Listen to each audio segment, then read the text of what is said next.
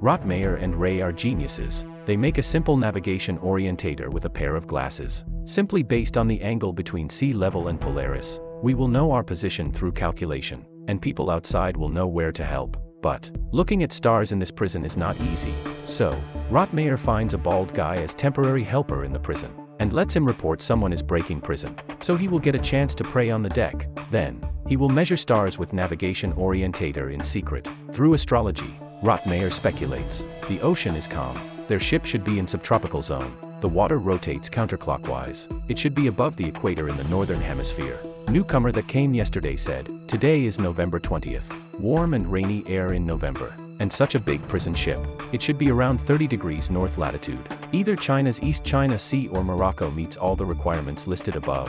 Rottmayer thinks for a while and says, we should be in Morocco now. Ray thinks this analysis is truly great.